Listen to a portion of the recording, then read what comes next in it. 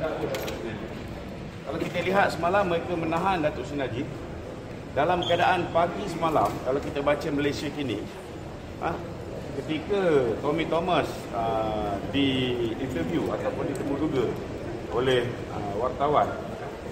Jadi kalau semalam pun dia belum terima uh, kertas siasatan ataupun a day before yesterday dia belum terima. Bagaimana hari semalam boleh dilakukan penangkapan ke atas Datuk Seri Najib. Ini nampak sangat macam kes hari pertama di mana Tommy Thomas melakukan pendawan kepada Datuk Seri Najib bila pihak peguam bela meminta kertas siasatan mereka tak boleh produce kertas siasatan sebab tak ada kertas siasatan. Ha, dia charge dulu kemudian baru nak nak nak siapkan siasatan.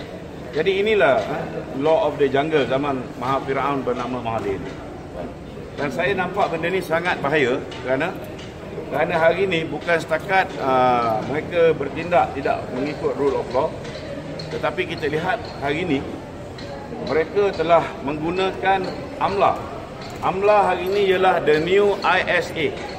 Kalau dulu kita ada Draconian Act yang bernama Internal Security Act ataupun ISA Akta Akta Keselamatan Dalam Negeri. Hari ini mereka gunakan AMLA.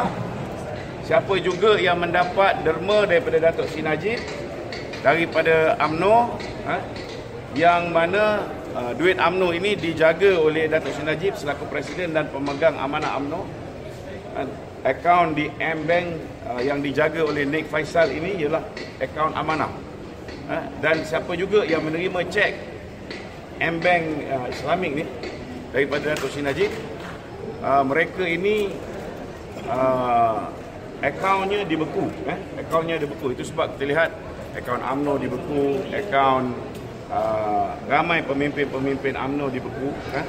Kerana Mahathir ni dia tidak ada gas untuk lawan kita secara adil. Ha?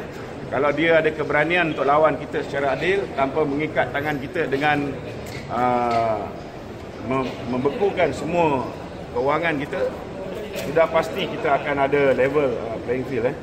Kita boleh lawan dengan dengan uh, dengan kekuatan yang sama.